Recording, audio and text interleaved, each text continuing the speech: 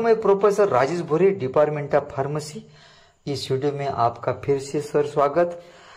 और इस महत्वपूर्ण वीडियो में हम लिखने लायक समझेंगे national iodine deficiency disorder control programme, यानी राष्ट्रीय आयोडीन अल्पता विकार नियंत्रण कार्यक्रम।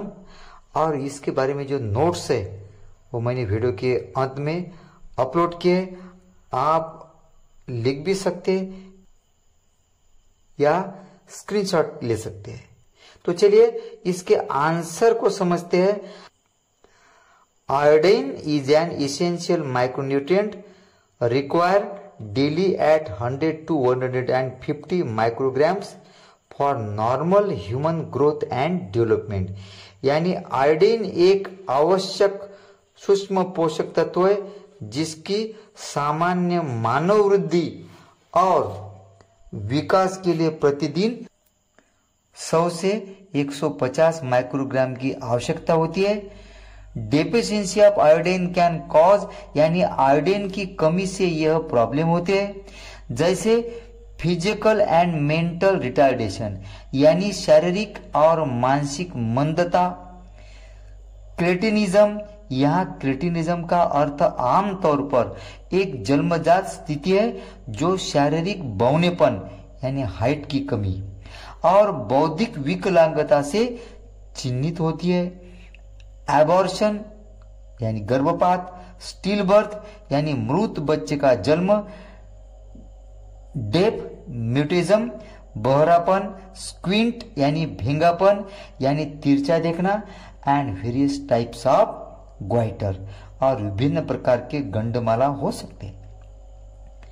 Realising the magnitude of the problem यानी समस्या की भयावहता को समझते हुए the government of India launch hundred percent centrally assisted national goitre control programme NGCP in 1962 यानी भारत सरकार ने 1962 में 100 प्रतिशत लॉन्च किया है सेंट्रली असिस्टेड यानी केंद्रीय सहायता प्राप्त राष्ट्रीय घिंगा नियंत्रण कार्यक्रम।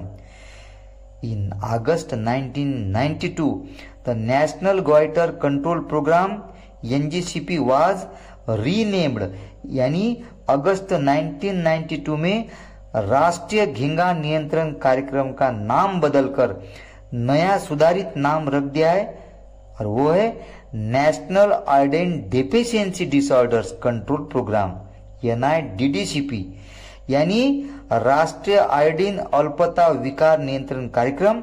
ये नाम क्यों बदल दिया है?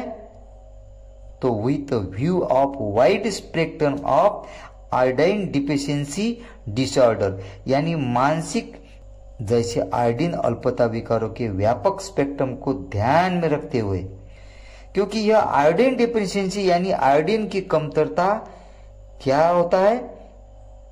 तो problem like mental and physical retardation यानी मानसिक और शारीरिक मंदता डेफ म्यूटिज्म बधिर, उत्परिवर्तन क्रिएटिनिज्म बौनेपन स्टील बर्थ यानी मृत बच्चे का जन्म एबर्शन एक्सेट्रा यानी गर्भपात इत्यादि।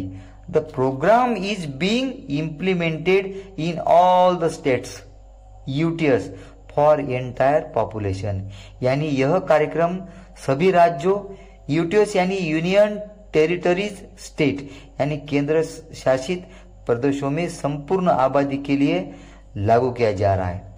तो यहाँ तक आधे मार्क्स हो गए और बचे हुए मार्क्स पाने के लिए उसके ऑब्जेक्टिव पॉइंट लिखना पड़ेगा।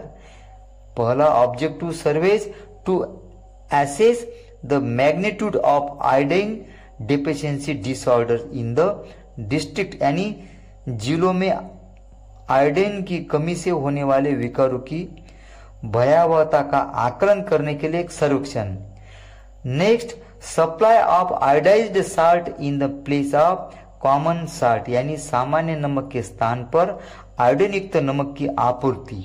नेक्स्ट रिसर्वेस टू एसेस यानी आकलन, यानी पता लगाने के लिए पुनः सर्वेक्षण। किसका तो आयोडीन डिफिशियंसी डिसऑर्डर्स यानी आयोडीन की कमी से होने वाले विकारों and impact of iodised salt after every five years in the district यानी आयोडीन युक्त नमक के प्रभाव का आकलन करने के लिए जिलों में हर पाँच साल के बाद पुनः सर्वेक्षण। Next laboratory monitoring of iodised salt and urinary iodine excretion यानी आयोडीन युक्त नमक और मूत्र में आयोडीन उत्सर्जन की प्रयोगशाला में निगरानी। Next health education and publicity यानी स्वास्थ्य, शिक्षा और प्रचार। तो इसे रिपीट रिपीट करके, क्योंकि यह क्वेश्चन एनुअल एग्ज़ाम में पहले आ चुका है, और भी आने के चांसेस है।